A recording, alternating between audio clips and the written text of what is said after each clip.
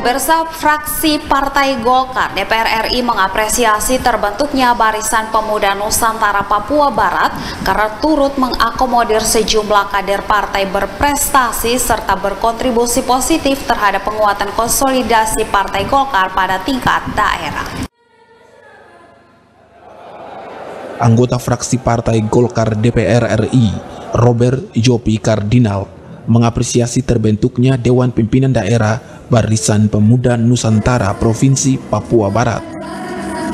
Menurut politisi senior partai berlambang beringin ini, selain memotivasi para kader partai, kehadiran Bapera Papua Barat diharapkan akan berdampak positif terhadap penguatan konsolidasi Partai Golkar pada tingkat daerah, khususnya dalam menghadapi kontestasi pemilu tahun 2024 mendatang sebagai kader Golkar apa sangat mendukung dan bangga.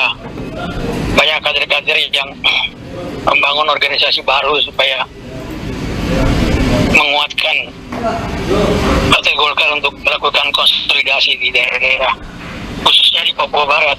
Sekali lagi selamat buat Bernard Sagrim dan juga ketua umumnya Pak Tarafi yang telah melantik kemarin di Kabupaten Sorong. Satu hal yang positif untuk jadi contoh untuk kader di Golkar yang ada di Papua Barat. Mari melakukan konsolidasi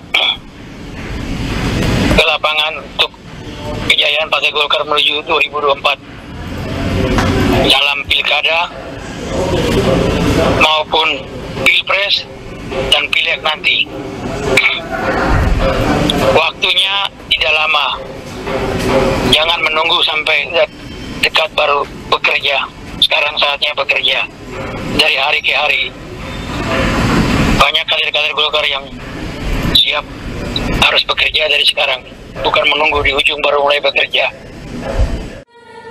Anggreni Sumbung, CWM Channel.